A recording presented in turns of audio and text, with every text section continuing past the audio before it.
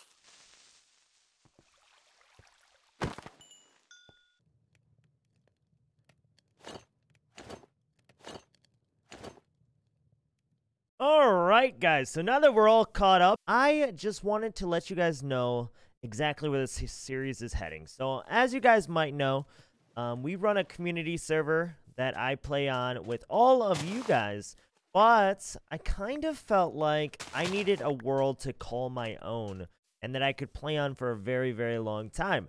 So I decided to create this world. Now, I will say that this starter island is not the best place um, the only animals I saw were chickens so far. We do have some sugar cane and stuff, but I think we're going to use this as our base of operations. Um, actually, do I see some... Oh, there are horses as well. Um, but the next step to our adventure here is going to be creating a home. So I think that is what we are going to do right about in this location. So let's see what I can come up with. What are we in Minecraft beta? This isn't going to work. This is better, but I feel like we can do a little bit better than what this is. Many hours later. All right, guys, I think we have finally found the perfect design for our house, and I think that it fits exactly what I was looking for. We kind of take a look here. I kind of want to put a bridge here and then another bridge here, or maybe just a land bridge. But I think that this place is looking very, very good. We have the brick roof mixed with the granite here, and I, am a big fan of this. We have a little bit of like vegetation storage. We I actually found a village, and on that or in that village they had pumpkins. So I grabbed some of those. I will need one for uh for some pumpkin farm idea I have. But yeah, if we just take a quick look around, we're using a lot of different details uh, to help improve this place. I have a little cellar that leads down into the basement. I have yet to make anything of this. Um, just because this was very, very time consuming trying to get all the materials for all this. Um, and then if we go in, for the most part, um, I did a lot of the interior designing. I like rugs and whatnot, but I can't place any uh, just because I don't have any carpet yet. Uh, but we got like a plain bed with a little lamp here. That's our little bedroom. We come upstairs and just a little bit more storage. And yeah, I think that this is very, very beautiful. I also got like pretty much every type of tree while adventuring. Now I just got to make some touches to the, the basement and I think we should be pretty much good to go. And guys, I think I'm going to do some of the basement work with you guys just to try and give you guys the experience of what what goes through my thought process while I'm doing this. So first thing I want to do is I want to make this very narrow to get through here. And then we're going to expand upon it, and this is basically going to be our storage when it's all said and done. And I think what I kind of want, because it is a cellar, and I want to keep it in like a very dark kind of, like a dark and moist environment. I think I'm going to use a dark wood floor to add a little bit of warmth and keep the walls pretty much a stone texture here. And I think we're going to mix some andesite, some uh, cobblestone, and some stone brick to give this the kind of life that we want it to have.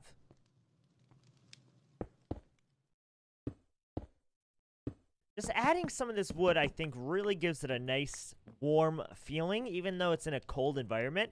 One thing I was actually thinking about, though, and of course my axe is going to break right now, I was thinking about adding some of these, the wood blocks here. Sorry for my, my brain. And then actually stripping those to kind of give it some more texture. So let's go to our crafting table.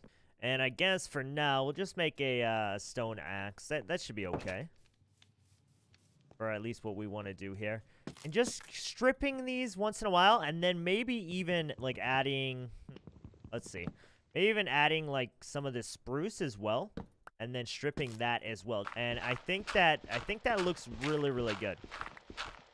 So I'm going to clear out a nice size here, and then I will bring you guys to the next step here.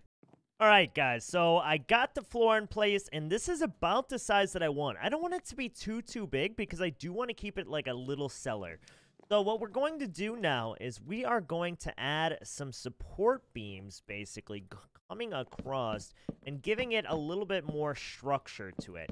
And as you guys can see, this is the floor of our build up above, and I kind of do not want that to be showing. So what we're going to do here is we are going to get some slabs, and we are going to slab that out. And I think for the most part, we're just going to keep the same aesthetic with the stone and kind of see how that turns out. So I am going to place these um, on the top part of the slab here, just to cover that up, because I do want these to be kind of lip down, basically. Um, just to kind of show that they are in place a little bit better.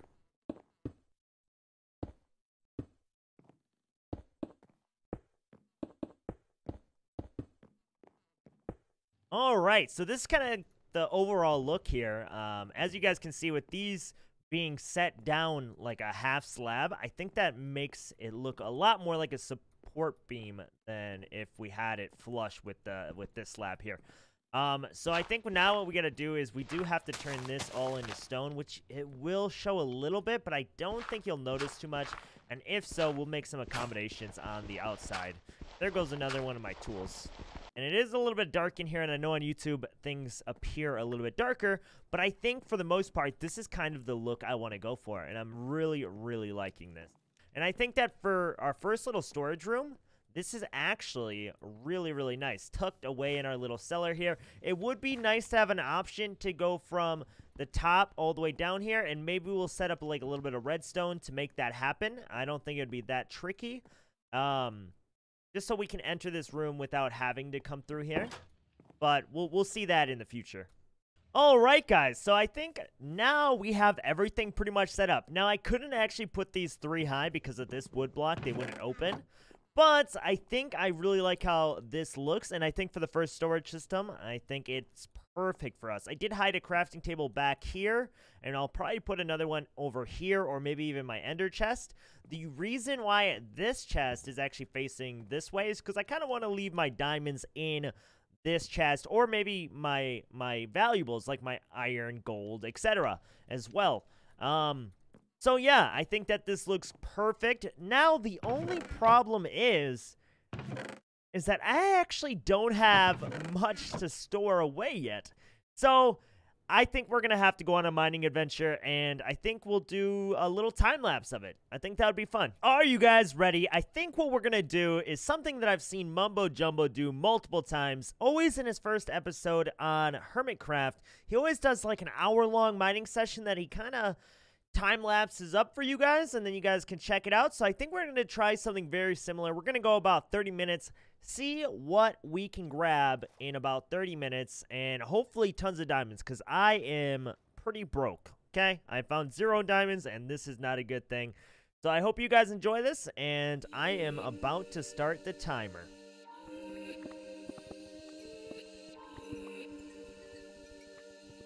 It's welcome, baby.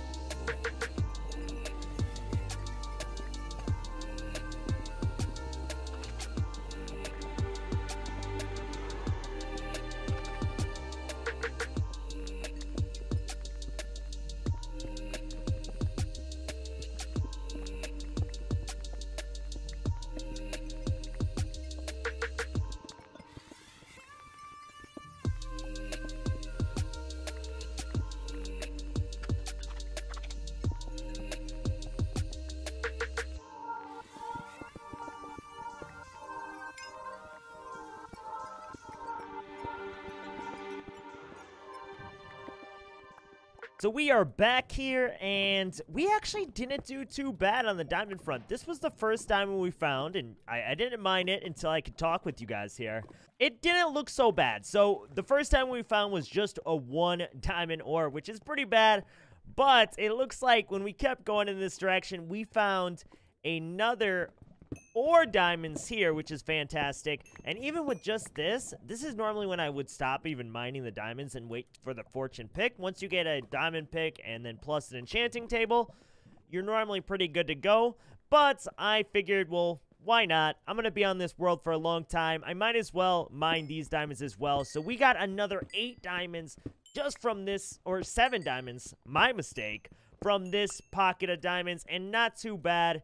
And we will see everything that we got from this mining adventure. Oh, goodness, it's nighttime. We gotta be careful around here. Gotta watch out for those spooky skeletons.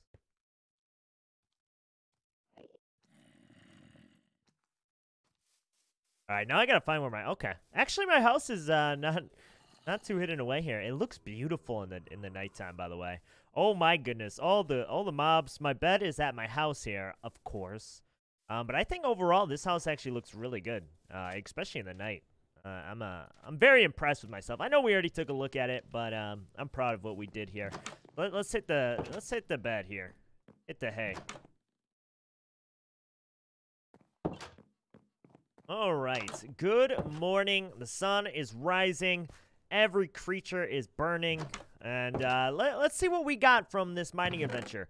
So it looks like we got 12 diamonds, which is really, really amazing. Obviously, five of those are going to go to a pickaxe and an enchanting table. Um, but we're not quite there yet. But it also looks like I, I had one iron before. We actually didn't get too much iron and gold, but um, I did smelt a little bit of it, so I'm not too upset about it. Uh, plus, we already have the armor and whatnot. Um, and then looking at a redstone, redstone, I don't use it that much, so this is actually a really good start for me. Um, obviously, I'm going to need some more redstone contraptions and whatnot. Um, I'll probably put the coal over here. Um, a decent amount of coal, lapis, enough to do some early enchanting. Pretty good. Alrighty, guys. So I think we are going to end the episode there.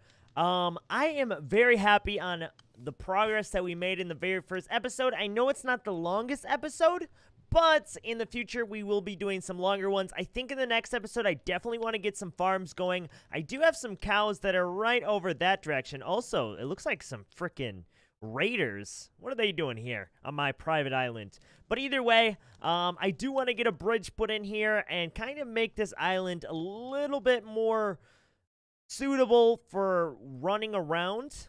Um, oh no, those are my, that's where my cows are. Okay.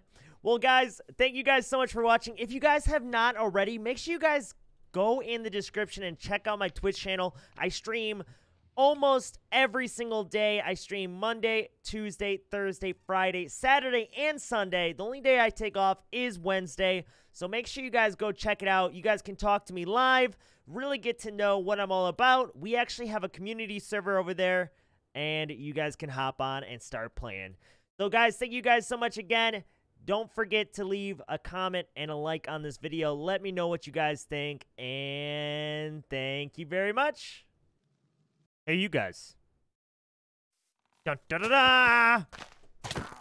Ah, god dang it. Wrecked. This is my island, and only mine. Bye, guys.